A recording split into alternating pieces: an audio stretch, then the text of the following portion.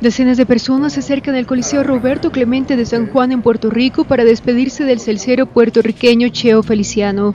Al funeral, aproximado más a una fiesta de pueblo recordando sus grandes éxitos y anécdotas como ser humano, ha llegado el cantante panameño Rubén Blades, quien fuera compañero suyo en las estrellas de la Fania. El artista panameño se mantuvo un tiempo con la familia de Feliciano, que incluía a su viuda Coco, en una simulada capilla que prepararon en el Centro Deportivo Capitalino.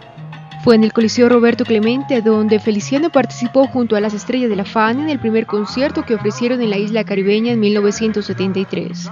Feliciano murió el jueves a sus 78 años en un accidente con su automóvil que conducía sin el cinturón de seguridad puesto. Feliciano grabó más de una veintena de discos, entre los que se destaca Cheo, posiblemente el más emblemático de su carrera y que continúa haciendo bailar a miles de seguidores.